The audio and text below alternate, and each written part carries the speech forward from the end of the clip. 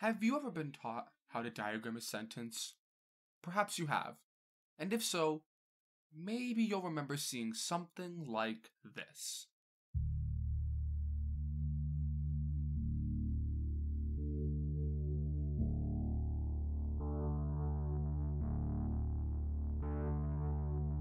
Maybe you've seen it, maybe not.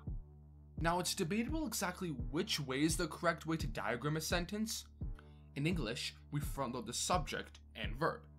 So it makes sense that we would go subject, verb, object as we go down the tree. However, this isn't the only way of looking at it. If we take a little inspiration from programming languages, we might have the idea to front load the verb. Instead of modifiers going next to what they modify on the tree, we put them inside the nodes, higher up than the words they modify. We'll front load verbs, and nouns come beneath. With this system, sentence diagrams look more like this.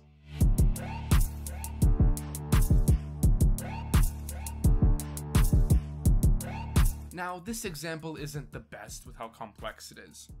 Let's replace it with something easier. There we go. Interpreting this with verbs and modifiers before the nouns, this would read, I hate you because you suck.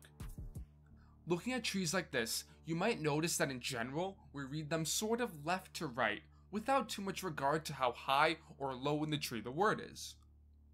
There is another way of reading this, starting with the root node, then go down the tree in the depth first manner. In this ordering, it would lead to hate I you because suck you. In some ways, this ordering is more natural, but it struggles to help you identify which nodes belong to which other nodes. Though this is technically true of any language. All human languages are limited by imprecise descriptions of simple syntax trees. There is, however, one fundamental limit to syntax trees. They're not complete. What do I mean by that? I mean they're Turing complete. They don't have the power to describe a complete computation in the way that a Turing machine can. What do I mean by this? I mean that syntax trees are limited to being trees. In a syntax tree, each node can only have one parent. And they're always finite. And they just don't feel dramatic. Luckily, we have these things called Turing machines. In fact, you're using one to watch this video right now. Turing machines are one system we can use to turn a finite amount of information into an infinite amount of potential computational complexity. Turing machines can do Recursion. Turing, who you might have heard of, cracked the Enigma code, was openly gay, and got arrested by the government that he served for being openly gay. Just woke up in a steaming mood, yeah? Because I live in a hole. Invented the Turing machine. Very creative name. And at about the same time, a guy called Church invented lambda calculus. Lambda calculus was a way of doing computation with nothing but functions. Like, that's it. All you have is functions being called with other functions as inputs. It looks something like this in practice. This is a function that takes three inputs. It calls the first input using the second input, then calls the result using the third. We write BTF as a shorthand, but it can also be written as either of these ways, whichever you prefer. Now, lambda calculus, you might notice, is a language, and because it's a language, its expressiveness is limited to that of any ordinary language that has a syntax tree. However, if we actually try to do computation using the lambda function, it actually can create a new type of tree for us. Since this tree doesn't need to follow the rules of an ordinary tree, we can actually call it a computational graph. Let's take a look at what the if function does for us when applied to three inputs, A, B, and C.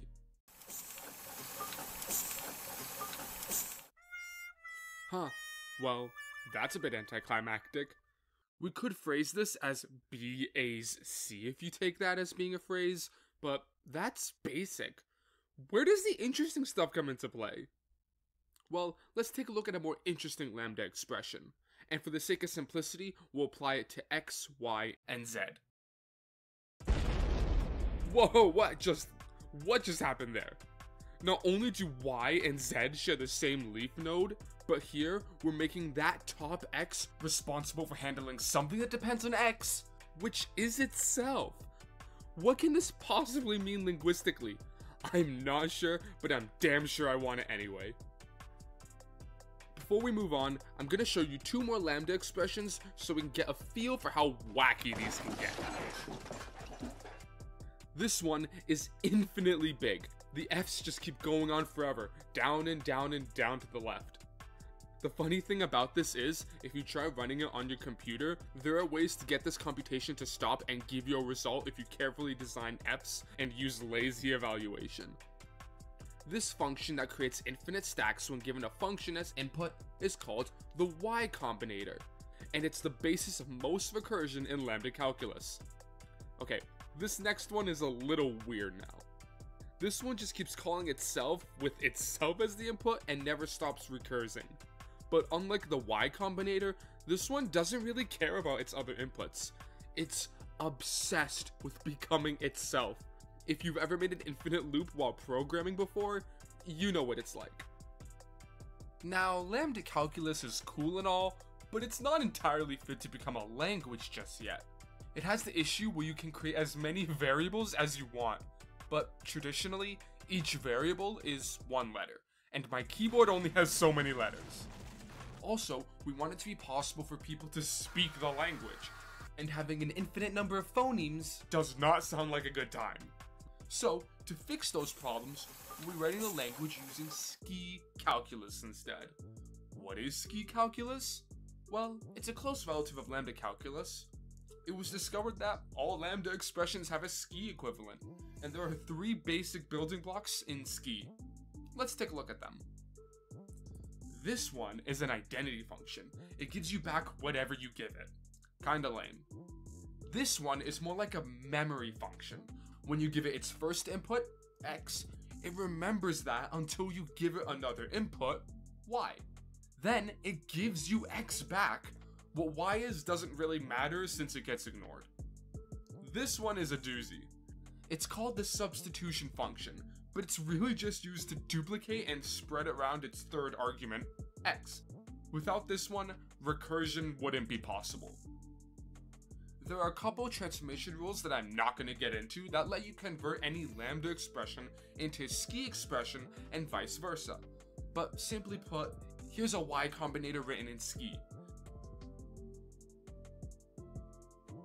And that funny infinitely busy lambda expression I showed you earlier? The ski equivalent of it is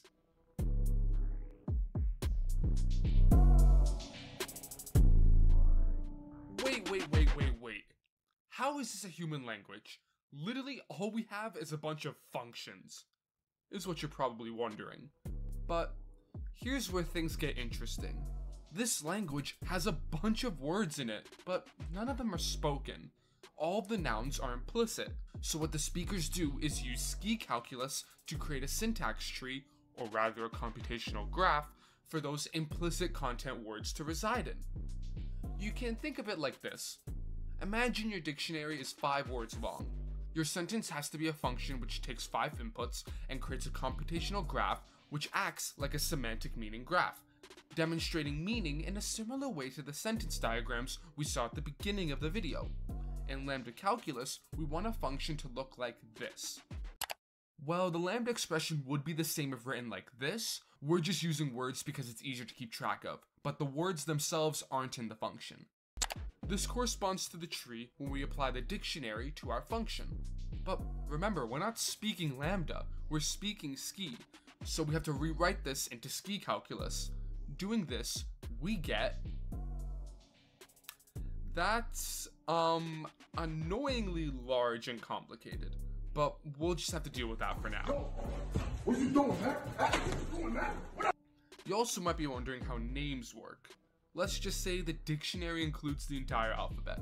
So you have to write a ski function which takes in at least 26 inputs and spells out your name using function application. Have fun! Like the programming languages which inspired it, Ski uses a prefix-based grammar. Single argument prefix functions, aka parent nodes, modify their child phrases in some way. then take on their role in the greater phrase. These prefix nodes include four case markers. These are for the direct object, indirect object, result, and manner of a verb, as well as a logical inversion marker. There's also two non-single argument grammatical words. One is the copula, which has some kinda complicated behavior. The other is the pick function, which takes a relative clause and a number, n, and it essentially rips the nth input to that verb to be the word it describes.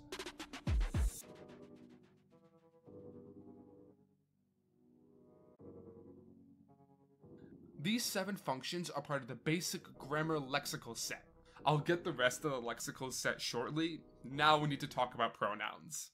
In Ski, other than the first and second person pronouns, I and you, you can only use a pronoun to refer to something in the same sentence. This is done by having the computation graph reuse an intermediate node in multiple places. Think of this graph here. This means the apple I bought was rotten, so I threw it out. Ski calculus allows us to reuse the entire phrase, so even if there were other nouns in the sentence, the word it wouldn't be ambiguous since it doesn't exist. Since you can duplicate entire phrases and mess with the graph structure, there's nothing stopping you from reusing embedded clauses like this.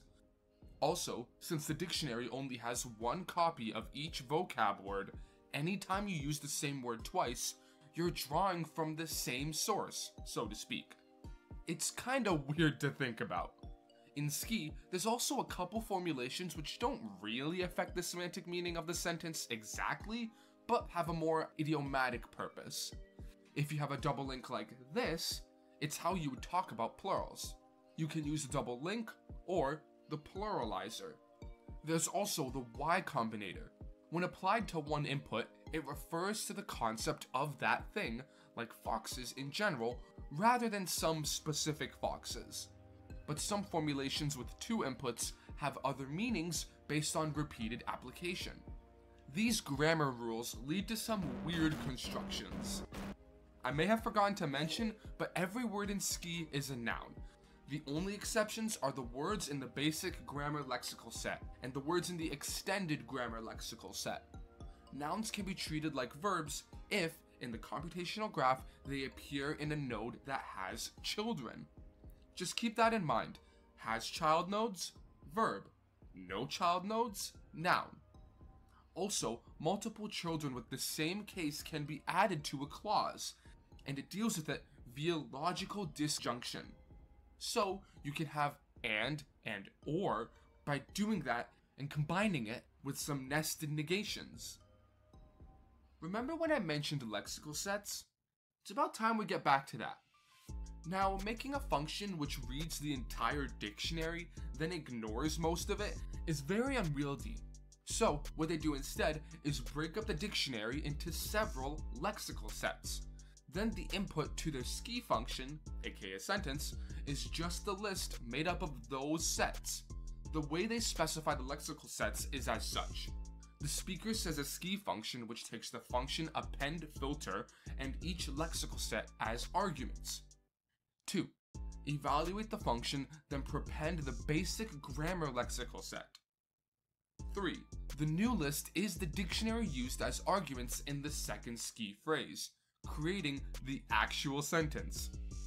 Append filter is somewhat complicated in order to make the first ski phrase simple. It takes the list of lexical sets to append and interprets it as a binary number of which to include and which to not. The number usually looks like this. All trailing ones are deleted, so this would become this. The specific sets are 2, 4, 6, 7, and 9. Those sets are appended together in the order specified by the argument list. Why is the append filter so complicated, you may ask? Well, it has to do with extending the dictionary. Most lexical sets in Ski are completely empty. This is because if the native speaker ever wants to coin new words, they have to gather them up and put them in an empty lexical set at once to not change the meaning of the sentences that already exist. This is the only way they found to guarantee the ability to add lexical sets and extend their language without making it incomprehensible. The result of using this system is that you have to give two ski expressions anytime you want to talk. The first is used to pick the lexical sets used in the temporary dictionary, and that dictionary is inputted into the second ski expression to actually give you the sentence. There's also this extremely irregular sentence that our researchers haven't quite figured out the reasoning for. Maybe you can deduce why it means what it does. That's all great and good. We have an arbitrarily long dictionary. Every sentence we have is actually two sentences spoken back to back, one to pick lexical sets from the dictionary and another to actually form the sentence. So, how do we actually say these sentences? Well, that's where the phonology comes in. Each of these sounds is associated with two characters in the ski character set. The characters are left parentheses, right parentheses, S, K, and I. Four of them are associated with the end of a ski expression that only has one leftover character. The most common one is the sound of spitting. Now, looking at this phonology chart, we see a bunch of weird sounds. There's that weird American R sound, an aggressive lateral fricative, and a whole bunch of ejective affricates. According to PHOIBLE, only exists in 12 or so languages, and only exists in 3. This one doesn't sound like anything, it's just sticking your tongue out. And velopharyngeal sounds are usually considered a speech defect rather than phonemes. Now, let's look at the vowels. I'm gonna have my friend Double Negative say them for you now. U, U, E, E, U. Uh, yeah, those are all very similar to each other. Good luck on hearing the difference in fast speech. In practice, each one corresponds to a single ski symbol. You can kind of tell the difference between the start and end of one because U, it's the open parentheses and U, it's the closed parentheses. Wait, never mind. Those are almost exactly the same. Uh, maybe the people that speak this just have really good ears. Now, to end this all off, I'm gonna translate to you one of the most elegant and prophetic phrases the English language has to offer. According to all known laws of aviation, there is no way a bee should be able to fly.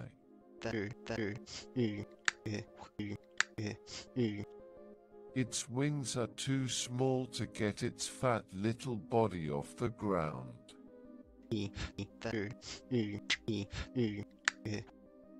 The bee, of course, flies anyway. Because bees don't care. What humans think is impossible.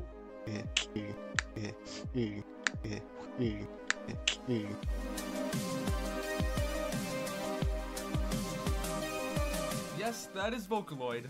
I don't understand IPA, and Double Negative said there is no way he's reading all of that out loud in real time. If you want the full audio, I'll link it in the description. Anyway, here's the gloss for each sentence showing you the structure of the syntax tree in a Lisp-styled manner. It's a lot simpler to write it out this way, but unfortunately, ski calculus isn't very efficient. Mostly because the S function is very annoying to deal with, and because of the whole implicit dictionary replacing normal vocabulary. And that's the video! Thank you for watching, I hope you enjoyed. It was really fun to put this all together and something that I wasn't really familiar with at the start, but slowly grew to learn as Double Negative me the wacky world of ski calculus. If you liked my style of editing and like my voice for some friggin' reason, make sure to subscribe to my YouTube channel. I mostly do holiday videos, but I'm looking to branch out pretty soon and hoping that this video is a good way to reach a new audience. Uh, and yeah, thanks, and thank you. Let's hope, bye!